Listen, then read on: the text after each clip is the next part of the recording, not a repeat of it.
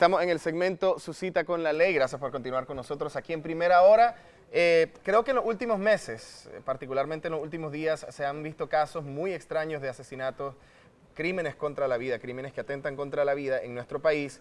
Y creo que vale la pena abordar esto. Sabemos de que... Eh, el asesinato es un crimen no solamente a nivel legal, es un crimen para las personas creyentes por mandato divino, es un crimen también, es un pecado, entre muchísimas otras cosas que son condenables, hasta por lo que se le llama el imperativo categórico, por moral, no debemos quitarle la vida a otra persona, nadie puede. Sin embargo, se está haciendo. Entonces, sí queremos abordar esto en el marco legal y saber qué es lo que estamos haciendo en nuestro país para reducirlo. En lo que va del año ha habido 61 homicidios. Es un poco menos con respecto al año pasado en esta época, sin embargo, no dejan de ser bastantes. Así que quiero darle la bienvenida al diputado Carlos Emilio López. Él viene a acompañarnos precisamente para hablar de este tema, diputado. Buenos días, Ricardo. Muy buenos días. Saludos a la televidencia. Eh, muchísimas gracias, diputado. Eh, y gracias también por, elegir este tema tan importante en, un momento como este. Eh, Nicaragua es considerado uno de los países más seguros de Centroamérica. Creo que nosotros tenemos una tasa de homicidios de 8 por cada 100.000 habitantes seguido por Costa Rica, que son 10, Panamá le sigue en un tercer lugar, y por ahí hasta El Salvador, que creo que anda por los 80 por cada 100.000 habitantes. ¿Significa eso que somos un país muy seguro con respecto a esto? En Nicaragua tenemos una política pública, una política de Estado de protección a la vida. El derecho más importante, derecho sagrado, como vos decías. La vida en todas sus expresiones. El sistema jurídico, el sistema político, el sistema institucional del país protege el derecho a la vida. Y una de las acciones que ha tomado el Estado de Nicaragua es legislar y tipificar todos los delitos contra la vida.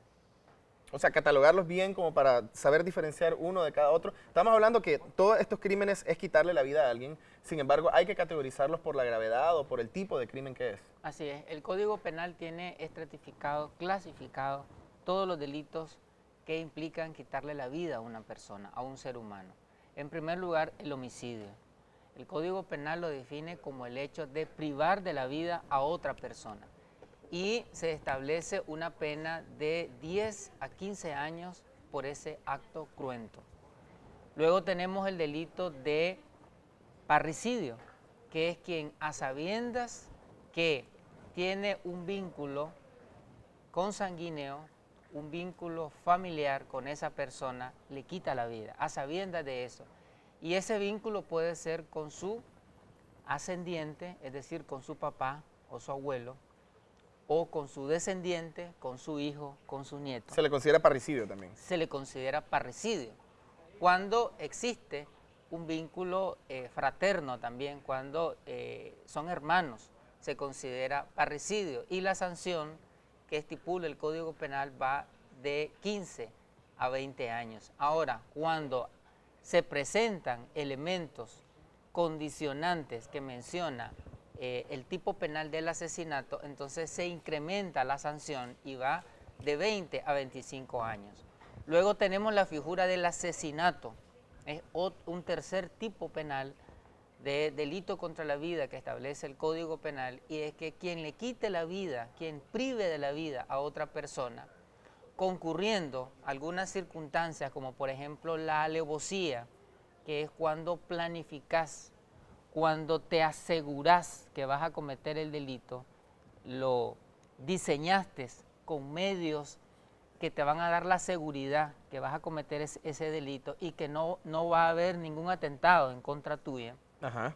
Entonces, ahí o sea, cuando uno planea el crimen perfecto, por así llamarle. Así es. Entonces ya no es homicidio, sino que es asesinato. Cuando hay ensañamiento, ensañamiento es que además que le quitas la vida, mutilas el cuerpo. Le quitas un brazo, le quitas una pierna, eh, laceras el rostro. A mí eso, diputado, siempre me ha provocado un poco de curiosidad, porque cuando uno asesina, uno igual hace un daño al cuerpo. Eh, usted se refiere ya cuando cuando se puede comprobar de que hubo algún tipo de actitud extra, o sea, digamos, si uno para matar a alguien le pegó un balazo y ya después uno lo que hace es agarrar el cuerpo y agravarlo o, hacerle algún tipo de daño además de ese, ¿a eso se refiere? Así es, el caso sonado en estos días que ocurrió en Ciudad Sandino, por ejemplo, de esta persona que le quitó la vida a su mamá, le quitó la vida a su padrastro, pero además de eso mutiló el cuerpo, los quemó, los enterró, es decir, hubo todo un ensañamiento, entonces ya no es un homicidio, sino que estamos frente a un asesinato. También se considera asesinato cuando hay elementos económicos, cuando eh, hubo de por medio precio, recompensa, promesa remuneratoria, es decir, que hubo eh, dinero de por medio para cometer ese acto. Si una persona es asaltada y cuando la asaltan es, es asesinada, o sea, la persona le quita la vida, el asaltante, ¿se le consideraría entonces también un asesinato por dinero? O es que no sé si se refiere, digamos, cuando una persona, yo sé que el término es un poco de películas, pero sucede en muchos lugares, un asesino a sueldo, o este, si en un asalto también se considera. Ambas cosas. en, ambas circunstancias estamos frente a un asesinato. Y eh, la pena, la sanción para este delito es el más alto. Estamos hablando de 15 a 20 años de prisión. Sin embargo, cuando eh, se presentan algunas de las circunstancias que hemos mencionado, la prisión puede ir de 20 a 30 años. Es decir, el delito de asesinato puede aplicarse la pena máxima que establece el Código Penal nicaragüense, que es 30 años de privación de libertad. Luego tenemos el delito de homicidio imprudente, que es cuando una persona se comporta eh, de forma imprudente, temeraria, comete el homicidio, eh, pero lo hace en un contexto de ir manejando a toda velocidad, eh, comportamientos que violentan, digamos, el orden. Se podría decir que esto es como cuando uno hace, uno le quita la vida a otra persona sin querer, pero teniendo la culpa. Así es.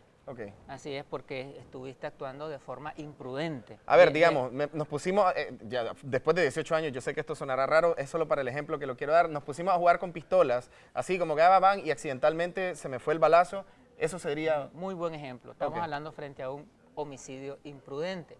Pero además de eso, alguien que además de actuar de forma temeraria, lo hizo bajo efectos eh, tóxicos, bajo efectos de eh, farmacológicos, de estupefacientes, sustancias psicotrópicas, eh, drogas, ¿no? o bebidas alcohólicas, si lo hizo en estado de, ebriedad, entonces estamos hablando de una sanción de 4 a 8 años, es decir, se incrementa la privación de libertad para una persona que además que actuó imprudentemente, lo hizo bajo efectos de droga o de alcohol. Eso es como que eleva la culpa. Así es. Otro delito que establece el Código Penal es la inducción o auxilio al suicidio. Atención con esto, yo sí quisiera hacer un especial énfasis porque eh, nosotros muchas veces tratamos el tema del bullying, lo hemos tratado también con usted, diputado, y yo creo que el bullying actualmente ha jugado un enorme papel en muchos casos de suicidio. Las personas no se sienten responsables, claro, por esto, pero esto se refiere cuando una persona de alguna manera motiva, aconseja o incita a otra persona a que se quite la vida. Así es. Alguien que está instigando y le está diciendo frente a esos problemas, la mejor solución que tenés es que te suicides, mejor quitarte la vida, ¿para qué vivís? No servís para nada. O, aconsejarle porque puedes hacer esto, mira, puedes usar una soga, puedes tirarte de tal lugar. Cuando eh, se induce, estamos frente eh, a este tipo penal y también cuando se coopera, también estamos frente a este tipo penal, es decir, eh, le dice, mira, te puedes tomar tal medicamento, puedes tomar tal sustancia y si querés yo te lo voy a comprar. Entonces, eh, asumir una actitud cooperativa para alguien que se va a quitar la vida, entonces estamos frente al delito de inducción al suicidio y la legislación establece de dos a seis años de prisión por este, esta acción eh, delictiva. Y pues para los que crean, este tipo de cosas se pueden comprobar. O sea, hay muchas maneras hoy en día para que en cualquier investigación se pueda comprobar si una persona ha eh, inducido o asistido en el suicidio de otra persona. Y es, hacía el especial énfasis porque el bullying, que yo sé que es una palabra que un montón de gente dice, ay, van de nuevo con el bullying. El bullying es una de las principales causas de suicidio en varias partes del mundo. Porque nosotros tenemos que saber que directa o indirectamente, a través de eso podemos, eh, digamos, conseguir que una persona no quiera seguir viviendo. o sea, sí, o sea, que una persona se rinda, que una persona se desespere o que llegue a un límite en el que la persona cometa algún tipo de acto irracional, como puede ser el suicidio, pues que pues, es un acto racional o irracional, pero en ese caso podría perfectamente ser algo impulsivo. Estamos de acuerdo. Todos los ilícitos que he mencionado están en el Código Penal nicaragüense. Luego tenemos otro que es el femicidio, que está definido, fue creado en la Ley Integral contra la Violencia hacia las Mujeres en su artículo 9 y en el artículo 2 del reglamento de esta ley. Y se define como un acto de un hombre que le quita la vida a una mujer en el marco de relaciones interpersonales de pareja. y como resultado ¿no? de eh, la agresión, de la violencia, eh, se le quita la vida, se le da muerte a una mujer. Estamos frente al delito de femicidio. Ese delito existe en Nicaragua a partir del año 2012, que se aprobó y entró en vigencia la ley. Algunos eh, medios de comunicación y algunos generadores de opinión han dicho que en Nicaragua hay un alto índice de femicidio. Eso no es cierto. Lo que pasa es que si uno mira el año 2011, 2010, 2009, delitos de femicidio aparece cero, porque es que el tipo penal no existía. Entonces el tipo Pero penal, las mujeres, eran asesinadas. Las mujeres eran asesinadas. Entonces el tipo penal empieza a aparecer a partir del año 2012, que es que se crea el tipo penal. Vos decías algo muy importante al inicio, y es de que Nicaragua es el país que tiene el índice delictivo más bajo de toda la región en todos estos tipos penales. Y Nicaragua es el país que tiene menos homicidios, menos asesinatos, menos parricidios y menos femicidios. todos los tipos penales que he mencionado, eh, por las mediciones internacionales que se hacen, Nicaragua es el país que tiene el índice más bajo. Yo te decía al inicio, el Estado de Nicaragua, el gobierno de Nicaragua, tiene una política de protección a la vida. Y una acción que ha tomado el Estado es tipificar todos estos delitos. Pero otra acción del Estado es la prevención a todas estas formas delictivas. Y esa prevención se está haciendo a través de todo el sistema gubernamental. Todo el sistema interinstitucional está abocado a prevenir estos delitos.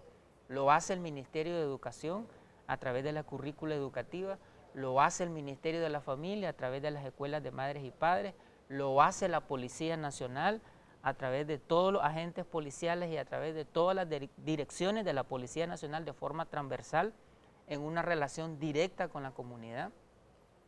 En Nicaragua tenemos un modelo que es el modelo preventivo, proactivo y comunitario, que es un modelo no solamente de la Policía Nacional, trascendió a la Policía Nacional y ahora es el modelo gubernamental, es decir, está constitucionalizado, de tal manera que todo el sistema eh, institucional, todo el sistema estatal del país está abocado a prevenir estas formas delictivas. Y como resultado tenemos que Nicaragua, como vos muy bien lo decías al inicio, tiene eh, una tasa de homicidio de 7 por cada 100 mil habitantes. Ese es el indicador, que el parámetro que se usa a nivel internacional. ¿Cuántos homicidios se cometen por cada 100 mil habitantes? Tenemos 7 versus El Salvador que tiene 82 por cada 100 mil, Costa Rica tiene 12 por cada 100 mil, Guatemala tiene 33 por cada 100 mil, Honduras tiene 59 por cada 100 mil, Panamá tiene 10 por cada 100 mil. Te estoy poniendo ejemplos cercanos. para ponerlo en contexto. Nuestros vecinos. Y es que estamos hablando de que Honduras y El Salvador particularmente son índices altos a nivel mundial, o sea, no solo a nivel centroamericano, o sea, son de los países donde más homicidios se cometen por cada 100 mil habitantes en el mundo. Y, pues es una cosa que hay que aclarar también, pues porque son países que a pesar de estar tan cerca de Nicaragua, nosotros todavía hemos mantenido eh, esta tasa. Bueno, ahí dice 8 por cada 100 mil, pero anda entre 7 y 8, ¿no? La, la nuestra. O sea, el Estado de Nicaragua aprecia la vida de todos los seres humanos, la vida de las mujeres, de los hombres, de los jóvenes, de los niños, de las niñas, de adolescentes. Sin embargo, debo decirte algo, que según los registros de la Policía Nacional, el Ministerio Público, el Poder Judicial, las principales víctimas de delitos contra la vida son los hombres. Sí, es que hay, una afirmación que hizo muy claramente una vez Mónica Salaqueta. Ella dijo de que el machismo a quienes más afecta a los hombres, y es verdad. O sea, los hombres somos víctimas de nuestro propio machismo y es por eso que es importante precisamente quitarnos esa actitud. Pues, pero ese es un tema un poco aparte de esto, pero sí está relacionado. Pero es importante mencionarlo porque los hombres son los principales victimarios los hombres son los victimarios contra los hombres y los hombres son los victimarios contra las, mujeres, Pero a la vez los hombres son las principales víctimas. Es decir, la mayor cantidad de eh, personas que pierden la vida a nivel mundial y en Nicaragua son los hombres. Esto no significa que eh, no debemos de preocuparnos por eh, los femicidios que se cometen, es decir, hay una preocupación por todos los delitos contra la vida y precisamente este sistema que te mencioné de prevención, de protección, de proacción, de relación con la comunidad es lo que ha permitido tener estos índices. Sin embargo, el Estado de Nicaragua no está satisfecho, no está conforme. La idea es seguir trabajando, seguir fortaleciendo este modelo de interacción con la familia, de interacción con la comunidad, de interrelación con todo el tejido social para lograr eh, no, solamente, no solamente mantener a Nicaragua como el país más seguro, como el país donde se cometen eh, en la menor cantidad de delitos contra la propiedad y delitos contra la vida, sino ir eh, hasta erradicar este tipo de de delito. Esa es la máxima aspiración del Estado de Nicaragua. Eso es lo que apuntamos todos, porque sí, yo tengo que decirlo, diputados, pues por mucho que nosotros nos den esta cifra en comparación con otros países y que estemos bien, el hecho de ser el país más seguro de Centroamérica no quiere decir que seamos seguros. O sea, todavía hay muchas cosas, hay muchos peligros y sí, usted como dice, me, me alegra saber de que el Estado no esté satisfecho, no esté conforme con esto, porque mucha gente usa esta frase como para decir, mira, estamos bien. Y realmente podemos estar muchísimo mejor. No podemos estar eh, satisfechos una vida de una mujer que se pierda una vida de un niño, de un adolescente que se pierda, de un hombre que se pierda, es suficiente para estar preocupado. Y tenemos que estar abocados entonces a que no ocurran estos hechos que han estado en la palestra pública en los últimos días. No significa que el fenómeno delictivo, es decir, de los ilícitos contra la vida se ha aumentado, sino que ahora tenemos más conciencia de que estos hechos son delitos. Y ahora eh, todo, digamos, eh, la difuminación de las redes sociales y de los medios de comunicación y que ahora todos somos comunicadores, todos tenemos un celular, todos tenemos a nuestra mano eh, una cámara sí, fotográfica. No, lo tenemos más presente y nos informamos más. Y entonces eh, da la sensación, tenemos la percepción que el fenómeno delictivo ha aumentado, pero lo que ha aumentado es la comunicación alrededor del fenómeno. Sin embargo, esa percepción, aunque está sobredimensionada, tampoco debe de eh, satisfacernos. Es decir, podemos estar satisfechos hasta lograr una protección total de la vida de todos los nicaragüenses. A eso apuntamos, diputado. Ricardo. Muchísimas gracias por este tema, gracias también a todos ustedes por verlo y eh, vamos a continuar siempre abordando estos temas tan importantes en este segmento de su cita con la ley.